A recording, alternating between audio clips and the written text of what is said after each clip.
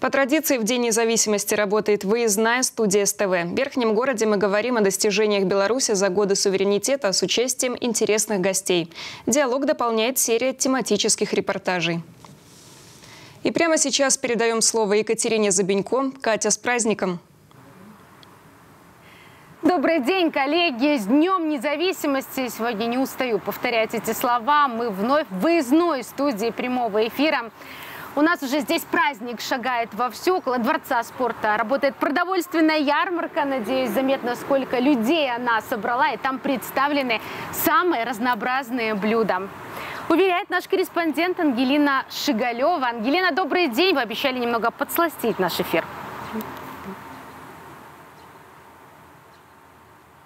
Добрый день, студия. Мы буквально в нескольких метрах от вас, около Дворца спорта. Здесь разместилась традиционная ярмарка, чего только нет. Глаза разбегаются, не знаешь, на каком блюде остановиться. Конечно же, здесь и ароматный шашлык, запах наверняка до вас доносится. Драники, блины на любой вкус. Хотите с рыбой, хотите с творогом, наваристая уха и даже освежающий холодник. Холодник – это шедевр. Потому что мое любимое русское блюдо – это окрошка. А у вас есть еще холодник. Это новая интерпретация вот этого. Но это ну, для нас новое. У вас-то это давно. Но мне очень понравился. Холодник, ну, понятно, драники – это красота. Кстати говоря, очень очень здорово, что сейчас в России, ну я сам из Москвы, э, очень много магазинчиков белорусских, э, белорусские продукты, очень много появилось. И продукты настолько качественные, вот просто это, ну, ну правда, это очень э, заметно. Мы второй раз уже в Беларусь. Первый раз мы были в городе Гродно, и в этом году мы решили посетить Минск абсолютно спонтанно. спонтанно. И так получилось, что Вася День независимости, это вообще очень классно. Мы попробовали национальную вашу еду, мы попробовали мочанку, да, мы попробовали хала холодный суп, да, только он у вас немножко по-другому называется, нежели, нежели у нас, потому что мы с города Риги. Вот, а сейчас мы попробовали здесь шашлык. Мясо прям вкусное, тает, оно прям, ну, вот прям мясо, знаете, ничего лишнего. Всегда на праздники, на такие большие, я всегда приезжаю именно на Немигу. Мне нравится здесь гулять, потому что здесь всегда разворачиваются очень большие такие гуляния, палатки. Стараемся всегда попробовать какое-то какое разнообразие, а, вот, и всегда все вкусно, тем более, ну, в такой атмосфере вкусно все. Как говорится, лучше один раз попробовать. Сегодня у каждого есть возможность насладиться вкуснейшими блюдами. Ну и вы, студия, когда закончите, присоединяйтесь. Ну а я пока что-нибудь попробую. Спасибо, Ангелина. Вот так вкусно и сытно на столе белорусов сегодня и, безусловно, без картофеля не обойтись. Наша страна входит в двадцатку крупнейших производителей в мире второго хлеба и лидер по объему полученного продукта на душу населения. На одного человека приходится свыше 500 килограммов. Блюда из бульбы давно стали национальной фишкой. Драники едут отведать туристы, картофель фри. Если у нас сорта, которые подойдут для приготовления этого блюда, спросим у нашего гостя Вадима Леонидовича Маханько, генерального директора научно-практического центра Национальной академии наук Беларуси по картофелеводству и плодовощеводству. Вадим Леонидович, здравствуйте, с Днем независимости. Добрый день. Сп спасибо и вас также. Ну да, говорим о картофеле в День независимости, что абсолютно логично. Э, заговорили о картофеле фри. Есть ли у нас сорт теперь этого картофеля для того, чтобы накормить таких белорусов э, картофелем фри? Что удивительно, не один сорт. Есть несколько сортов и белорусской селекции, и иностранной селекции, которые на сегодняшний день используются для производства этого продукта. А, Вадим Леонидович, еще такой еще важный вопрос. Может ли нас чем-то на сегодняшний день еще удивить картофель? Потому что мы думаем, что мы знаем о нем абсолютно все. Ну, дело, дело в том, что я уже больше 30 лет занимаюсь картофелем. И чем дальше, тем я больше понимаю, что я о нем ничего не знаю. Вот. А что касается рядового потребителя, мы каждый год радуем как минимум одним новым сортом который отличается и по скороспелости, и по устойчивости, и по цвету мякоти, а самое главное, по, по вкусовым качествам. Потому что так. мы, белорусы, это наш национальный продукт, и мы знаем толк картофеля. И мы любим наш гурманы, естественный гурманы. белорусский картофель. А скажите, а чем могут отличаться сорта э, картофеля по вкусу? Вот вы сколько сортов можете вслепую отличить? Ну, вслепую отличить очень трудно, очень трудно. Ну, по вкусу, по вкусу, по, да. по вкусу. Может Во всяком, всяком случае, э, среди большого набора сортов белорусский картофель можно всегда отличить. Он э, имеет очень специфический вкус, он мучнистый, и его можно есть без масла. Есть музей картофеля, есть памятник картошки, их даже несколько по всей Беларуси. Как вы считаете, заслуженно ли? Естественно, естественно, потому что картофель – это один из гарантов нашей продовольственной безопасности. Э, Картофель всегда в Беларуси любили, выращивали и в дальнейшем будут выращивать. Э, В последнее время много говорим об изменениях климата. Как это влияет на сорта картофеля? Э, Как отражается? Дело, дело в том, что картофель растет практически по всей планете, за исключением, может быть, только Антарктиды. И что приятно, что в этом году мы убедились, что белорусские сорта картофеля прекрасно себя чувствуют и в Африке, и в Южной Америке. Так что то потепление, те засухи, которые есть, да, они влияют на картофель, но без картофеля мы точно не останемся. Наши сорта растут по всему миру. Ну и самое важное, каков экспортный потенциал нашей плодовочной продукции? Э, мы производим и картофеля, и плодов, и овощей по разным, так сказать, наименованиям. Как правило, больше, чем необходимо нашей маленькой, но гордой и горячо любимой нашей стране. Поэтому мы всегда готовы поделиться с нашими соседями. И я уверен, даже несмотря на какие-то изменения и климатических условий, и погодных условий, даже в текущем году картофеля хватит и нам. И, и сможем примерно э, до трети произведенного урожая поставить на экспорт. То, что касается других э, белорусских овощей, что можно сказать о перспективах этих позиций? По экспорту. Э, морковь, свекла, лук, капуста. Вот эти четыре овоща, основных наших, наш борщевой набор, нам хватит и, и готовы поставить на экспорт. Ну что ж, спасибо огромное за такой вкусный диалог. Еще раз с Днем независимости. Спасибо. Свое время Беларусь сделала ставку на развитие сельского хозяйства. Как результат обеспечили собственную продовольственную независимость. Наша страна полностью кормит себя на основе собственного производства. Это еще плюс большой запас. Уровень обеспечения себя молочкой свыше 260%. Наши аграрии вносят весомый вклад и формирование мирового рынка. Беларусь входит в топ-5 экспортеров молочных продуктов. За каждой цифрой в первую очередь стоят люди и традиции для того, чтобы на наших столах всегда был свежий хлеб и вкусные молочные продукты. Аграрии трудятся круглый сезон. О них наш сюжет с полей. Последние годы у соседей по карте невероятный интерес к тому, чего и сколько собрали наши труженики села. С точностью до наоборот из-под пера европейских СМИ вылетают невероятные новости. Сначала картофельный переполох, мол, разучились выращивать, потом исчезновение гречки, досталось даже семенам свеклы. Продукты питания не раз становились объектом фейковых новостей. И пока эксперты утверждают, что именно в этом году мир ждет величайший продовольственный кризис, белорусы своим трудом доказывают. Нас это точно не коснется. Свою продовольственную безопасность самостоятельно обеспечиваем не первый год. Удалось вырастить лучший урожай зерновых за последние пять лет. Мы продолжаем продавать свои продукты по всему миру.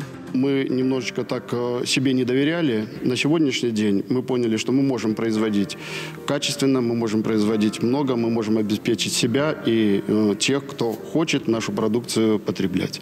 Поэтому уверенность это очень многого значит и для специалистов, и для руководителей аграрной отрасли, для всех. Сильный аграрный сектор – это не советское наследие, которое досталось Беларуси. Оно не упало с неба, а по крупицам создавалось руками белорусов. Это упорный труд каждого сельчанина. Это бессонные ночи ученых, которые работали над сортами белорусской селекции. Санкции лишь подтвердили ставка на свой продукт – лучшая подушка безопасности. В списке оригинальных семян все больше отечественных. санкции только сильнее подтолкнули нас к тому, чтобы мы развивались в направлении производства новых сортов и создания новых сортов культур как основных сельскохозяйственных, так и нетрадиционных. И как раз-таки в последние годы одним из трендов нашей академии стала э, селекция пряно-ароматических, эфирно-масличных, лекарственных растений. И за последние годы более 20 сортов общими усилиями, большим коллективом авторов создано таких культур, как базилик, укроп, кориандр, нигела, душица. Стратегическая база важных культур, таких как пшеница, ячмень, овес, заполнена в полном объеме. Помните, как высоко с президентских полей взлетел наш буслик, зимостойкий озимый ячмень? Сегодня на экспериментальных полях главы государства, которые уже стали взлетной полосой для перспективных культур, подрастают и ждут вердикта специалистов подсолнечник, соя, люпин последнее время нами создан ряд сортов перца сладкого, кубовидного, толстостенного, различных цветов, красного, желтого, которые в настоящее время проходят э, внедрение в сельскохозяйственное производство. За 32 года работы через руки Михаила Бородькина прошли почти 3000 образцов. Результат научного коллектива – более 50 новых сортов перца и томатов. Некоторые есть даже на грядках у президента, а ведь именно Александр Лукашенко подтолкнул горецких селекционеров не сдаваться и создавать такие белорусские томаты, которые смогут уверенно держать удар фитофторы. Это было на Дожинках в 2012 году, когда он приезжал сюда к нам. И вот именно на самих э, полевых, э, так сказать, э, этих всех выступлениях он сказал, что томаты тоже должны белорусские быть в Беларуси для открытого грунта. Не говорить, что фитофтора все съедает. У нас есть все предпосылки, чтобы наш стол был вкусным и разнообразным, а излишки принесли стране хорошую выручку. Беларусь делает ставку на крупнотовар товарное производство, которое, надеемся, также крупно и сыграет. Сегодня мы делаем упор на такие новые для нашей страны продукты, которые получили свое развитие благодаря э, когда-то тому, что они импортировались. Это, допустим, специализированная мясная говядина. Мы этому уделяли немного внимания. Сегодня мы развиваем эту отрасль. Мы развиваем сегодня овцеводство. Мы развиваем сегодня козоводство для того, чтобы предложить покупателю те элитные сыры, которые из козьего молока вырабатывают вырабатывается, э, баранину предложить, производить свою шерсть и другие виды продукции. Сегодня почти каждый шаг белорусских аграриев сопровождает цифра. IT-технологии все глубже проникают в сельское хозяйство. И вот уже над полями синеокой летают агродроны, а будущим механизаторам отрабатывать полевые маневры помогает виртуальная реальность. Но какой бы прогрессивной ни была цифра, сельское хозяйство невозможно без человеческих рук. Развитие сельского хозяйства за эти годы позволило даже меньшим количеством людей, работающих в сельском хозяйстве, за счет производительности новых технологий позволяет вести еще более интенсивно э, ведение агропромышленного комплекса вперед. Конечно, это все благодаря нашим людям. Их э, ведь и новую технику, и оборудование технологическое надо освоить. Нашим людям это удается. Обучаемся, изучаем и успешно внедряем эту технологию.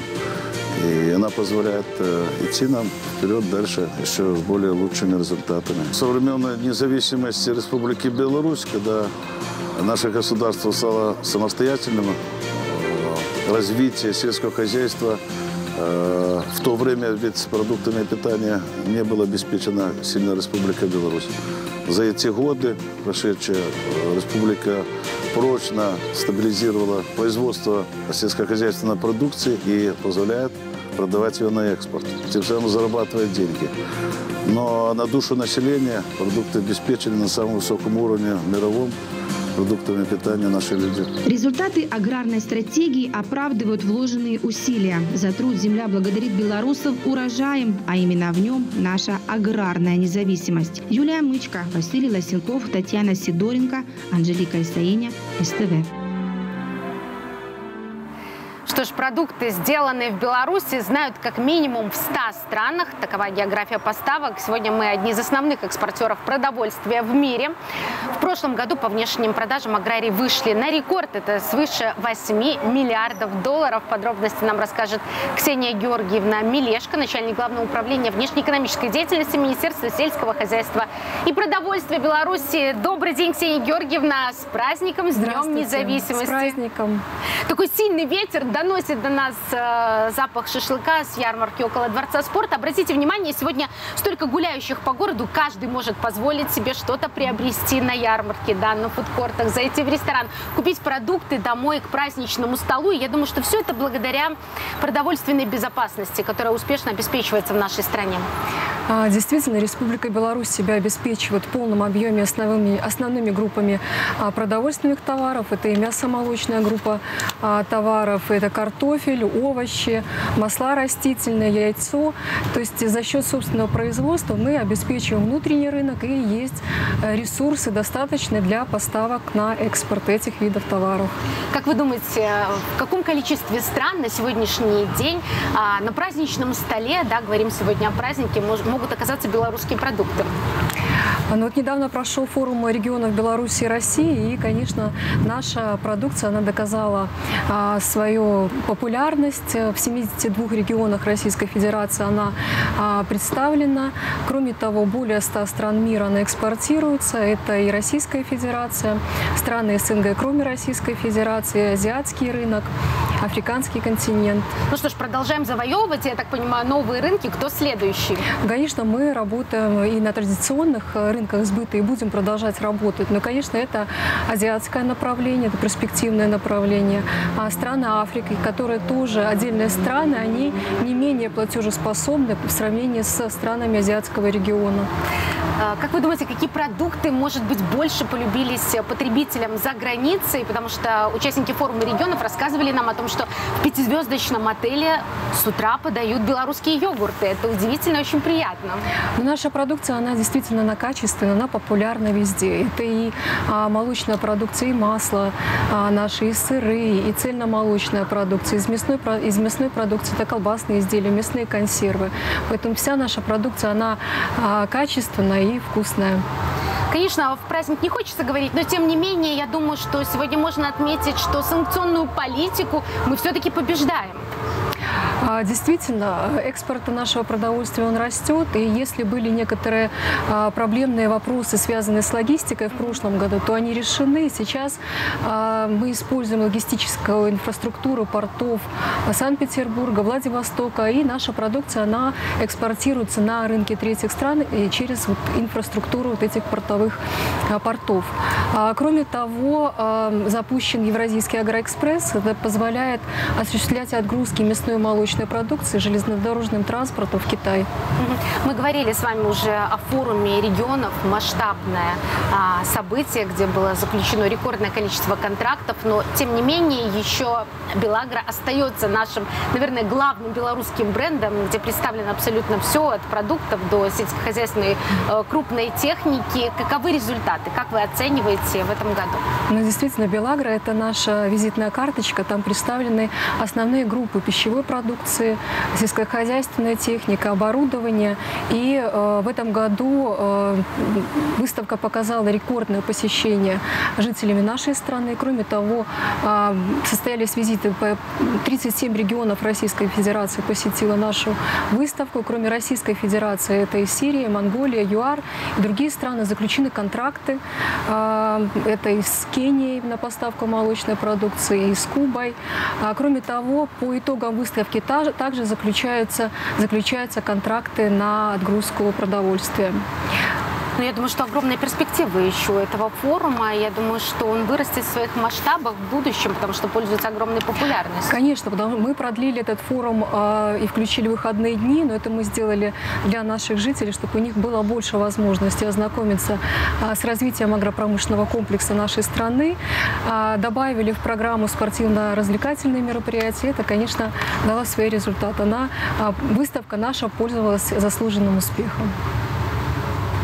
Ну что, да, к нам хочет зайти Ангелина. Я просто увидела ее с таким э, замечательным набором так, Добрый день, студия. Я только сюрприз? со съемки была на ярмарке у Дворца спорта. Как говорится, от нашего стола к вашему. Угощайтесь. Ангелина, Еще горяченькие, спасибо. тепленькие. Спасибо огромное, Ксения спасибо. Георгиевна. Да, как же, какой же день независимости без драников, спасибо. без этого замечательного блюда. Спасибо, Ангелина, что не забыла про нашу а, просьбу. Обязательно отведаем а, наших белорусских традиционных драников. И на такой сытной ноте присоединяемся к многочисленным поздравлениям. Мы продолжаем следить за событиями этого дня дня. Самые вкусные подробности уже в следующем эфире. С Днем независимости Беларусь!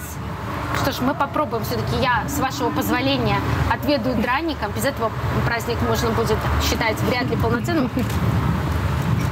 Студия, вам слово, надеюсь, вы не очень голодные. Не соединяйтесь, пожалуйста. Спасибо.